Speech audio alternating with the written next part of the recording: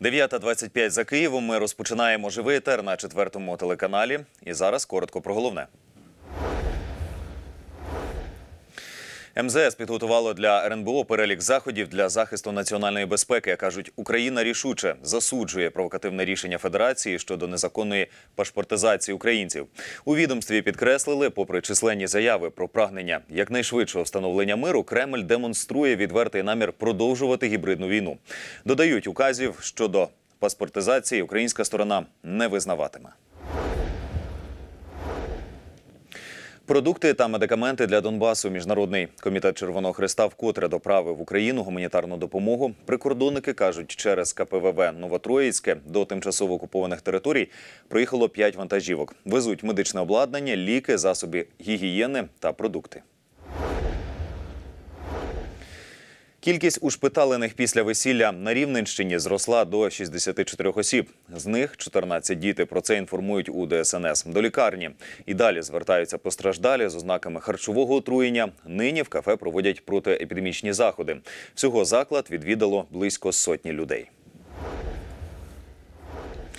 Вимагав гроші за безперешкодну оренду землі. На хабарі впіймали секретаря Люберської селищної ради на Житомирщині. Про це повідомляє військова прокуратура центрального регіону. Посадовця затримали після одержання 7 тисяч гривень. Наразі йому готуються оголосити підозру. В разі доведення провини хабарникові загрожує до 10 років ув'язнення. Про перемир'я з 21 липня домовилася тристороння контактна група напередодні в мінську. Про це повідомила Дарка Оліфер, речниця представника України в тристоронній контактній групі Леоніда Кучми. Згідно з угодою, стріляти припинять з опівночі неділі. Також обидві сторони поступово почнуть розбирати оборонні редути в станиці Луганській. Даруйте е, так, першими це мають зробити терористи на мосту. Після чого Україна візьметься до ремонту. Окупанти мають зняти всі прапори квазіугруповань. Повідомила Оліфер. Також найманці повинні забезпечити доступ місії ОБСЄ на всю окуповану територію. У мінську досягли згоди і щодо обміну всіх на всіх. Підтверджено перебування 69 наших громадян, яких ми прагнемо повернути.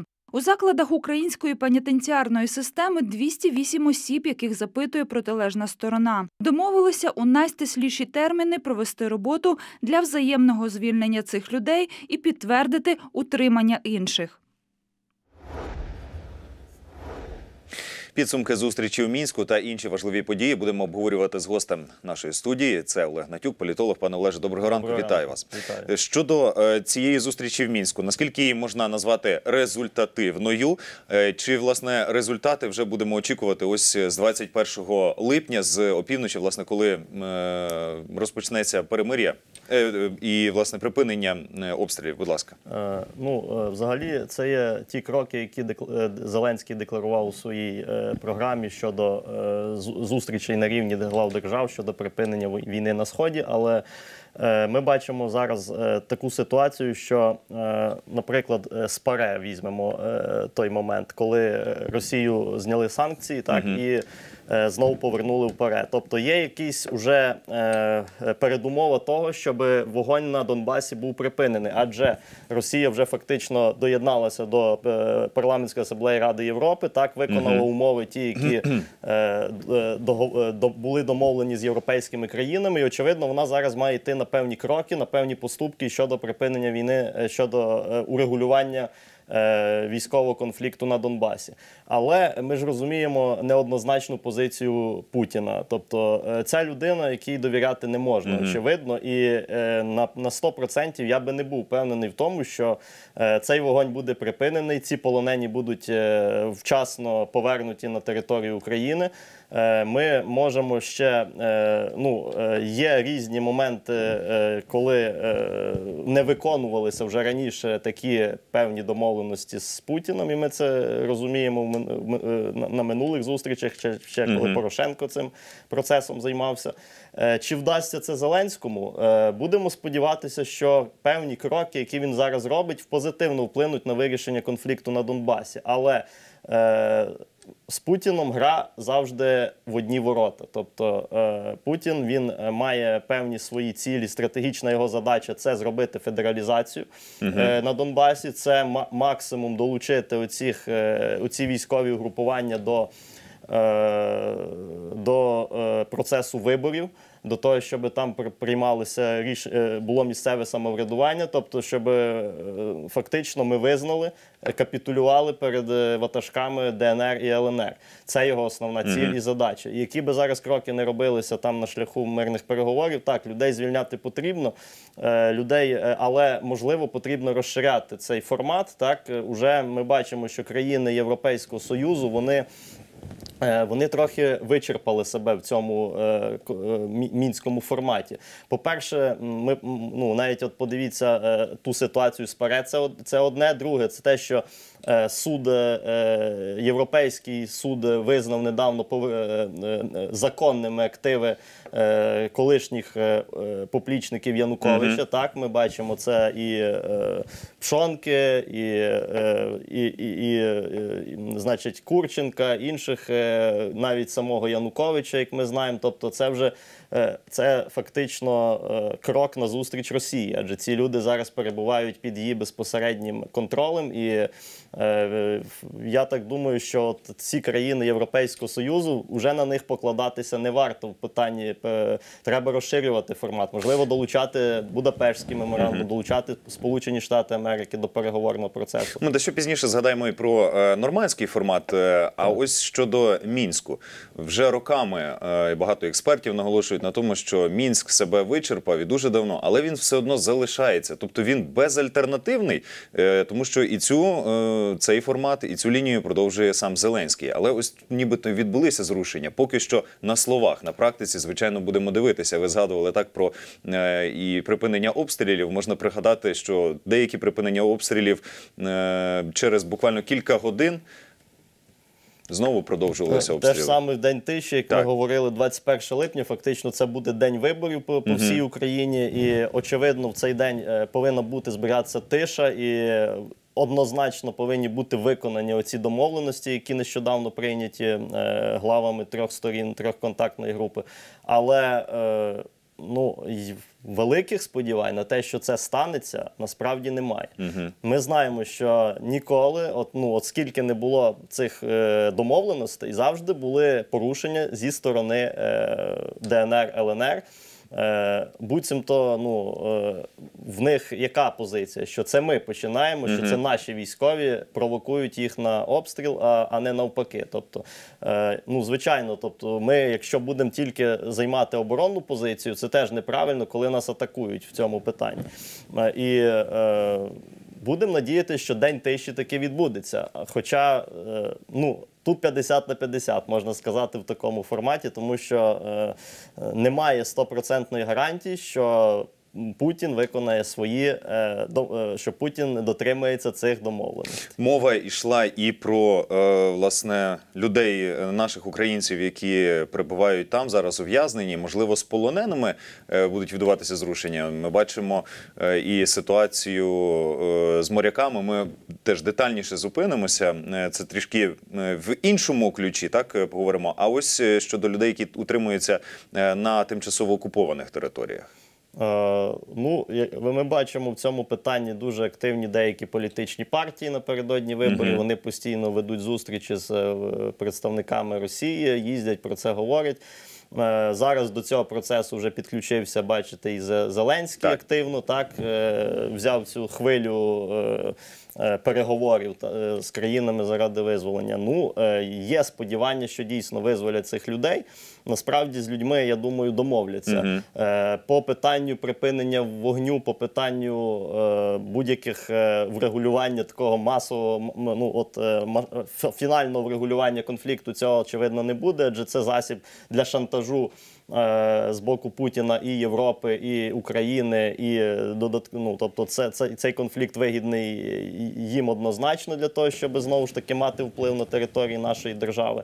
Але е, вирішувати це питання потрібно і потрібно шукати нових. Я ж кажу, підходів. Я вважаю, що мінськ вже себе вичерпав, і е, всі ті переговори, які відбуваються зараз в цьому форматі, вони вже є мало ефективними. Давайте тоді про інший формат. Зустріч у Нормандському проводитимуть з більшою кількістю і вагоміших учасників. Повідомив у своєму ютуб-каналі Володимир Зеленський. Раніше заступник керівника офісу президента Вадим Пристайко повідомив, наступні перемови відбудуться за місяць-півтора. Обговорюватимуть виконання мінських угод, і в разі позитивних змін дипломати запропонують домовлятися вже очільникам держав.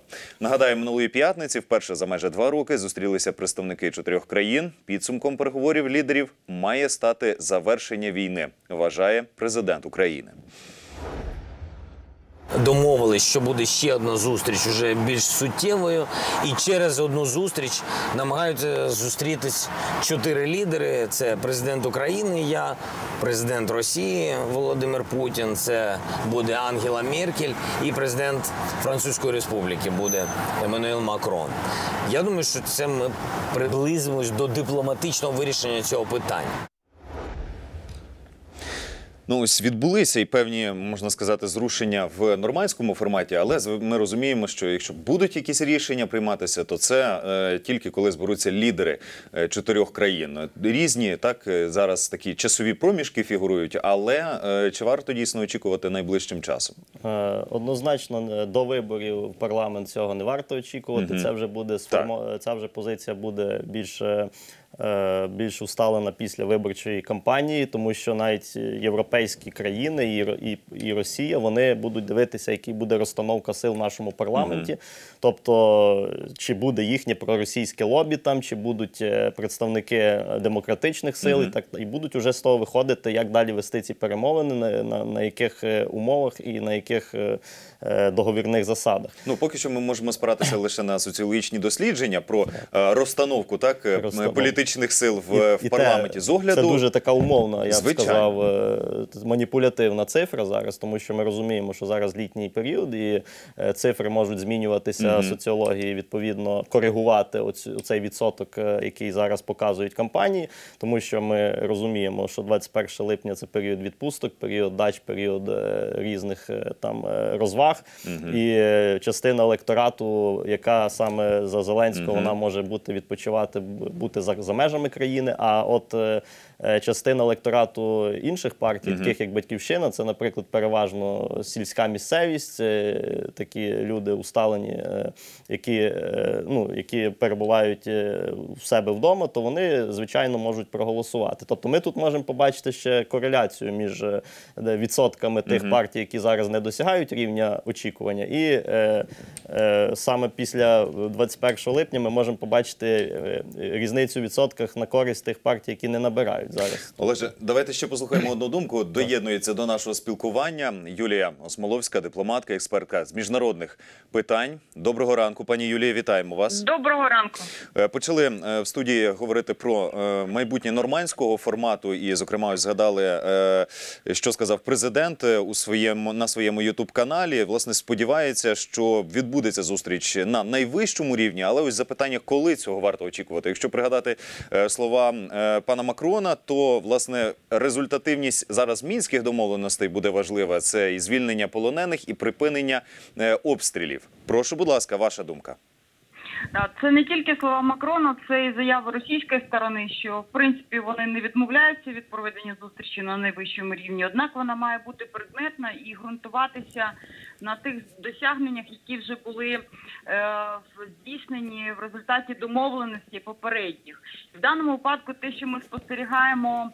Е, В роботі трьохсторонньої контактної групи і зустрічі на рівні політичних радників е, в рамках нормандського формату дає певні підстави для оптимізму, оскільки ми бачимо конкретні домовленості, які мають реалізовуватися протягом ближчого часу, протягом ближчого місяця, після якого анонсована чергова зустріч на рівні радників, і вже за результатами цієї зустрічі буде вноситися пропозиція щодо зустрічі на найвищому рівні. Це збігається в періоду е, з часу часом, е, вже після проведення парламентських виборів в Україні, те на що м, е, орієнтувалася російська сторона, в тому числі. Тому я думаю, що оптимістично е, таку зустріч на рівні перших осіб держав можна очікувати в с- вересні цього року. Пані Юлія, поясніть, будь ласка, яким чином, з яким принципом відбувається формування, так би мовити, порядку денного таких зустрічей? Е, Україна в односторонньому порядку пропонує так, про що буде йти мова, і які ключові питання мають обговоритися? Чи до е, вирішення е, такого напрямку, так цього цих зустрічей долучаються всі учасники? Ні, такого не буває, щоб у багатосторонніх переговорах тільки одна сторона давала порядок денний, і всі з нею безумовно погоджувалися. Е, Дійсно, одна із сторін вносить такий проект порядку денного. Я не знаю, хто буде в цьому випадку ініціатором цієї конкретної зустрічі. Це може бути Україна, може бути і Франція. Ну для України, звісно, було б краще, якби це була е, наша держава, оскільки ми е, це дає можливість формувати е, більшість порядку денного е, з тих питань, які становлять інтерес для української сторони, і таким чином отримувати певне і формальне лідерство в цьому процесі. А потім вже відбувається узгодження е, цього порядку денного з усіма причетними сторонами, які вносять свої пропозиції щодо тих чи інших пунктів. Пані Юлії, і на сам кінець е, поясніть, чому і наскільки важливими е, для ось такого міжнародного цих міжнародних зустрічей є зараз вибори до парламенту, тому що теж неодноразово можна було почути думки, що саме вибори в Верховну Раду е, їх зараз очікують не тільки в Україні, так е, але і за кордоном. Як це впливатиме? Хто отримає представництва більше в Верховній Раді? Це є суттєвим з точки зору того, яку стратегію обиратиме політичне керівництво України е, для врегулювання конфлікту е, на сході і інших питань, які є проблемними в відносинах з Російською Федерацією. Якщо більшість буде у парламенті. е, Яка буде дотримуватися конструктивних підходів, налагодження контактів, з'ясування питань. А це, скажімо, якщо буде значна кількість е, відсотків е, відведена опозиційній платформі за життя, е, то для партії Зеленського, якщо там так само є більшість налаштованих на конструктивні пошуки рішень, буде легше вносити якісь пропозиції, в тому числі те, що стосується реалізації українських зобов'язань за мінськими домовленостями. У всіх спостерігачів зараз є. Е, Певні очікування, що окремі заяви чи ініціативи пана Зеленського і його команди е, стримуються тим, що немає е, конструктивної більшості в українському парламенті, і це може викликати певні неоднозначні реакції в суспільстві. І саме тому вже після проведення виборів е, можна очікувати е, на більшу визначеність у стратегії, яку буде обирати політичне керівництво України. Пані Юлія, дякую вам за коментар. Нагадаю нашим глядачам, доєдналася до нашого спілкування у студії Юлія Смоловська, дипломатка, експертка з міжнародних питань. Пане Олеже, е, ось якщо я не помиляюсь, пані Юлія сказала, що можливо, можливо, десь у вересні відбудеться е, зустріч на найвищому рівні. Погоджуєтеся з цією думкою? Е, ну, частково погоджуюсь, це тому що дійсно у вересні вже приступить до роботи новий парламент. Е, Ми вже побачимо, як буде формуватися коаліція. Ми вже побачимо, хто буде прем'єр-міністром. Вже Е, в вересні, думаєте, не затягнеться обговорення і е, дискусії щодо цього? Е, Дискусії вони вже почалися і вже тривають близько місяця. Тобто зараз ми бачимо, що є три кандидатури найбільше реальні, які показує соціологія, так але зважаючи на те, ми не почули конкретики від самої партії Слуга народу, хто кого вони хочуть бачити прем'єр-міністром. Є там заяви деяких політиків, представників їхньої сили, але немає конкретних е, заяв, що ось ця людина буде пропонується на цю посаду. Е, Тому е, очевидно, що і е, ми будемо бачити, що переговорний процес буде тривати оце все літо, поки до, до вересня місяця однозначно. Е, Думаю, з цим процесом вони не затягнуть, тому що ну, економіка повинна працювати, повинна бути людина, яка відповідає за рух країни вперед, за рух е, її економічного потенціалу і так далі. Е, Це буде не на руку слузі народу, якщо, ну, якщо вони сформують там коаліцію і так далі, а залишиться без прем'єр-міністра. Тобто, відповідно, у них відразу почнуть слабшити позиція, у них ще попереду, можливо, міс- дострокові місцеві вибори і так далі. І е, відповідно думаю, що е, у вересні вже ми побачимо. е, ті кандидатури і побачимо нового прем'єр-міністра, нову коаліцію в Раді. Ми ще не знаємо, з кого вона буде сформована і яким чином буде формуватися, тому що цей процес буде відомий тільки після виборів. Уже будуть конкретні переговори е, фракцій і так далі. Е, А е, ну і відповідно е, правильно тоді вже і почнеться далі продовжуватись всі дипломатичні подальші кроки наші в питанні припинення війни. Е, І в питанні е, міжнародного співробітництва, і в питанні залучення інвестицій, що немало важливо, в питанні боргу нашого зовнішнього з МВФ і так далі. Ну що ж, будемо рухатися далі до інших тем. Полонених українських моряків звільнять не раніше ніж наприкінці осені. Таку заяву зробив Ілля Новіков, адвокат командира катера Бердянськ Романа Мокряка. Вчора Лефортівський суд Москви продовжив арешт для всіх 24 бранців ще на три місяці. За словами Новікова, обміну моряків на Головреда Ріа Новості Україна Кирила Вишинського очікувати не варто. Водночас наголосив, ці судові процеси побічно впливають один на одного, оскільки відбуваються паралельно. На думку російського адвоката, основний сценарій звільнення полонених після оголошення вироку. Серпень справа в суді, вересень початок процесу, жовтень, листопад вирок. Це, звісно, моя прикидка, все може затягнутися, але поки оцінюю терміни так. Росія розуміє, що це проблема, і її треба вирішувати якнайшвидше. Після трибуналу вони різко пришвидшили слідство і закінчили його менш ніж за два місяці. Так чи інакше, моряків скоро віддадуть, але можливо не так швидко, як ми хочемо. Ну ось тут ще дуже е, ключова важлива річ, що після трибуналу все-таки почали е, в цьому питанні вони працювати. Ми знаємо і розуміємо, наскільки важливе загалом для світового устрою міжнародне морське е, право. Це надзвичайно важлива е, річ, і в цьому зацікавлені в дотриманні цих прав і Сполучені Штати, і Канада, великі морські держави, і сама ж і сама ж таки Росія. Але знаєте, ось е, скриплять зубами, але все таки якісь зрушення є. Е, чи варто очікувати раніше звільнення, оголошення вироку і раніше? Це ж в принципі питання політичне, все таки. Е, Ну, ми ж побачили, що після рішення трибуналу відразу е, направилась нота е, е, в Україну і з тим, що вони готові передати нам цих моряків, але за умови, що вони будуть у нас судитися згідно законодавства е, кримінального Російської Федерації. Так Ну цей варіант неприйнятний є для України. звичайно. Відповідно, зараз е, знову ж таки відбувається затягування е, часу, затягування цього процесу. І е, до, до якого періоду він буде тривати, ніхто цього точно не знає. Ну, моряки будуть залишатися на території Російської Федерації, будуть вестись переговори на рівні дипломатичних відомств, на рівні глав держав. Е, Як швидко вдасться звільнити, будемо очікувати після виборчих після виборчої кампанії, після формування нової ради.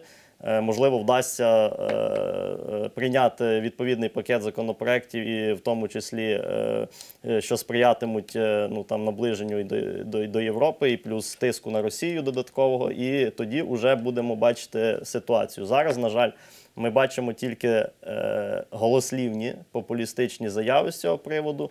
Е, обіцянки, які не виконуються, і е, шантаж Росії, е, ну і е, оцей засіб впливу, засіб маніпуляції, оці полонені моряки, як засіб маніпулятивний засіб для Європи, для України з боку Російської Федерації, оскільки е, моряки утримуються там незаконно, і це українська сторона визнає, і це визнав е, міжнародний трибунал. Але ми тепер чітко бачимо, що в Росії не дотримується жодного прав, е, жодного прав е, людини, так і не виконує будь-які норми закону е, міжнародних судів. Очевидно, що е, ця держава, ну е, як ми бачимо, вона є закритою і авторитарною в своїх діях. І е, е, швидкого звільнення е, полонених моряків ну, не варто очікувати. Ось вчора на цю тему спілкувався з Василем Мірозниченком. Це адвокат, кандидат юридичних наук. І він висловив таку думку, що можливо певною мірою і ось захоплення моряків воно було таким ситуативним, що особливо ну не було такого спочатку, так цілі ось захопити саме військових, але ситуацію зараз вже почали використовувати. Ви кажете про що намагаються так таким чином шантажувати. А як це проявляється ось в практичній площині? Е, Ну, от е, в практичній площині навіть, е, я ж кажу, от в ПАРЕ, наприклад, Так. ситуація з ПАРЕ, Півден, парламентська асамблея Ради Європи, коли нібито е, була домовленість, це вже очевидно Європи з Росією. Про це всі знали, що ця домовленість була ще за часів, коли ще тривала виборча президентська кампанія е, в нас в Україні. Так про те, що е, знімуть санкції з Росії, і е, е, взамін на те, що Росія е, виконає цей пункт передачі моряків на територію України. Е, ці питання піднімалися, ці питання обговорювалися, і Росія фактично маніпулювала е, цією ситуацією для своєї користі. Відповідно, пізніше, як ми бачимо, все помінялося повністю. Ситуація змінилася тільки на користь Росії, без уже оцього чинника моряків. І е, з неї зняли санкції. І, до речі, оці дві країни, Німеччина, Франція, вони голосували Так. за повернення України е, Росії у е, парламентську асамблею Ради Європи. А зараз вони якби виступають переговірниками між е, в нормандському е, форматі. Ось тому виникає питання: чи варто нам покладатися на Європу навіть в цих питаннях, чи, чи Росія далі не продовжить шантаж, чи Росія далі не продовжить е, політику е, е, подвійних стандартів. Ось як вона веде до цього часу. І, мабуть, треба зміцнювати нас зсередини, нашу державу, нашу державність, максимум мобілізувати всі сили всередині країни, економіку піднімати для того, щоб була можливість протистояти зовнішньому агресору. Олеже, залишається ще кілька тем для обговорення. Одна з них е, така: етнічним українцям із діаспори можуть надати громадянство України доручення розробити відповідні механізми. Володимир Зеленський дав Міністерству закордонних справ. Повідомляє офіс президента. У заяві також відреагували на новий вирок для українських моряків і підписання Путіним указу про паспорти. Зазначив вчора президент Федерації спростив отримання російського громадянства для жителів Донеччини та Луганщини. Указ стосується як жителів окупованої, так і підконтрольної Україні територій.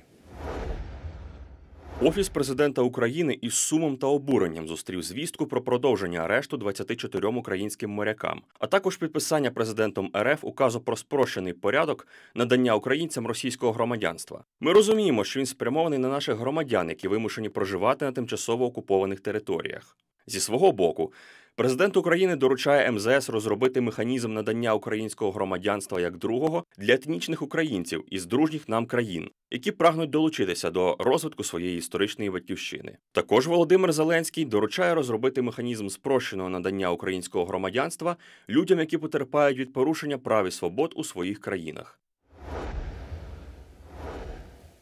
Олеже, ну ось е, давайте е, спочатку щодо паспортів е, на окупованій частині, тимчасово окупованій частині території України. Здавалося б, так ніби ідуть. Певні якісь зрушення, ну бодай на словах в мінському процесі, так ось якісь, хоча б на словах домовленості, але водночас, так ви як ви сказали про ці подвійні такі Політика стандарти і кроки. стандартів. І ось ці паспорти. Яка конкретна протидія з з нашого боку українського може бути ось такій паспортизації? Е, ну, я б хотів сказати цю проблему, яка піднімає зараз е, з паспортизацією, про те, що перше, е, для чого це потрібно Путіну. Е, Перше, це вирішити свою демографічну проблему, оскільки в них не вистачає реально робочих рук на підприємствах. На це дасть можливість нашим людям ніби їхати туди заробляти кошти, і е, це він думає за рахунок отаких кроків трошки підняти свою промисловість нашими людьми. Другий момент це те, що це розкольницькі дії, це абсолютно. Е, Це, це абсолютно е, поділ знову ж таки людей на своїх і, і, не, і чужих, тобто це громадянський конфлікт, е, це перетягування громадян для, для того, щоб в нас був неспокій в державі. І відповідно ну, заходи, які ми можемо тут зробити в цій ситуації розкольницькій політиці Путіна. Єдине, що ми можемо максимум через засоби масової інформації, максимум до цих людей достукатись е, і сказати про те, що е, максимум їх е, уберегти від цих маніпулятивних дій, адже ми розуміємо, що насправді там, ну, там ситуація з паспортами вона дуже тонка і там багато є нюансів. Там там не просто отримати, там їм дають тимчасовий паспорт, так, але щоб отримати то постійне місце проживання, для цього потрібно пройти ряд кроків, прожити там певну кількість років. Е, і я думаю, що це е, абсолютно е, такий декларативний документ, який не матиме ніякої юридичної сили. А ось ініціатива Зеленського е, щодо надання громадянства і теж видачу паспортів. Ну, це як, знаєте, як кажуть, як відповідь, удар у відповідь, але він. Ну але тут бачите, з трошки з іншого боку. Тут звертався до більше до, до діаспори, до етнічних українців, до Звичайно, е, люди- так само люди, які там потерпають. Я вам скажу так: люди, якщо захочуть, вони повернуться самі сюди і самі набудуть громадянство без оцих спрощених процедур. Тут важливо е, не сказати про це по телевізору. Тут важливо. Працювати на користь держави, піднімати її економіку, піднімати її промисловість, залучати інвестиції, покращувати соціальний інвестиційний клімат. Тоді люди самі повернуться, тоді їм буде тоді їм е, буде куди повертатися. Зараз люди просто, от наші діаспоряни, не те, щоб не е, ну вони розуміють, живуть е, за кордоном, вони інвестують сюди кошти, але поки що я так розумію, не бачать е, перспективи для постійного проживання в нашій державі. Адже спочатку потрібно зміцнити країну для того, щоб просувати такі законопроекти. Так Е, звичайно, хто хоче, хто вже тут довго живе, там етнічним е, представник е, етнічної меншини і хоче отримати на, наше громадянство, який, е, е, звичайно, це буде позитивно, адже розширює наше демографічне положення і фактично ну, зміцнює націю. Ну що ж, і на сам кінець у правоохоронних органів бракує політичної волі для розслідування резонансних злочинів. Розповів у своєму блозі президент України Володимир Зеленський. За його словами, після вступу на посаду він обговорив із правоохоронцями найгучніші справи: розслідування розстрілів на майдані, нападів на журналістів, вбивство Гандзюк. І тоді очільники силових відомств говорили, що є бажання працювати і політична воля. Втім, її за словами президента через півтора місяця не стало. Також Володимир Зеленський запитував у правоохоронців, чому не розслідують корупційних справ. САП каже, у всьому винні НАБУ, НАБУ каже, у всьому винні САП. Генпрокурор каже, ну була політична воля, ми вже всіх посадили. І я кажу, що у нас є політична воля. Є політична воля, щоб можна було нормально, безпечно жити в Україні. І є головне є політична воля, щоб посадити всіх цих грабіжників. Пригадав я ось щойно, слухаючи пана президента, як він е, президенту Порошенку е, ще під час, здається, дебатів закидав так, е, а чому не, не було посадок, а і згадував про Гандзюк і напади на журналістів. Зараз пан Зеленський президент. Чи доречно було б згадувати про ось ті закиди до Порошенка? Тому що ну і через який термін можна буде апелювати до Зеленського і запитувати, пане президенте, а розстріли на майдані, розслідування, а вбивство Гандзюк і далі, і далі, і далі. Знаєте, у нас в політиці така є стала практика, що кожен новий президент, який приходить, звинувачує в усіх гріхах попередника. І е, на цьому він заробляє електоральні бали, на цьому він заробляє, е, мобілізує свій електорат. І частково ну, це гасло є. Е, е, Теж я вважаю деякою мірою популістичні. Якщо е, президент прийшов на свою посаду, його право е, подавати е, на цих людей він може впливати на певну процесуальну слідчу дію в цьому питанні. Він може представляти оцих людей до суду, до ну, через органи прокуратури, може е, видавати певні, е, певні меседжі у публічний простір, що цих людей потрібно притягнути. Я цим питанням займаюся, і ми от звернулися туди-то, туди-то, туди-то. Але ми, на жаль, поки бачимо е, звинувачення тільки попередніх президентів, тому що когось не посадили. Е, Вважаю, що в нас взагалі оця система судова, е, поліція, суди і е, прокуратура це є дискредитована і е, система е, ну, по своїй суті. Ну іншої Вона- у нас немає. Е, ну от Що цього ж- треба починати. Чому в нас немає іншої системи? Чому зараз от дійсно затягуються справи проти е, вбивць е, е, майданівців. Так чому навіть от е, справа з Бубенчиком, як ми бачимо нещодавно, Так. е, Луценко затягує вже цю справу так само 5 років. Там спочатку було кваліфіковано як вбивство, потім як замах на вбивство, Так. а потім як самооборона. От 5 років іде справа, вже визнайте, вже скажіть людям, що насправді відбувається, яка там ситуація. Очевидно, тут є е, політичний підтекст. Очевидно, дійсно політичної волі нема чому, тому що політичну волю хтось нав'язує. Тому 30 її- секунд, щоб завершити. думку, тому її немає. Якщо ми перестанемо жити в державі, де політичну волю нав'язує, політична воля нав'язується антикорупційним органам, тоді е, все поміняється. Давайте змінювати саму систему, саму правоохоронні органи, систему судів, систему е, слідчих е, органів і так далі. Тоді тільки запрацює держава. Пане Олеже, дякую за участь в етері. Дякую за аналіз е, цих подій. Нашим глядачам хочу нагадати, що гостем цієї тарної години був Олег Натюк, політолог. За лічені секунди на четвертому телеканалі новини. Ми зустрінемося дещо незабаром. Не перемикайте.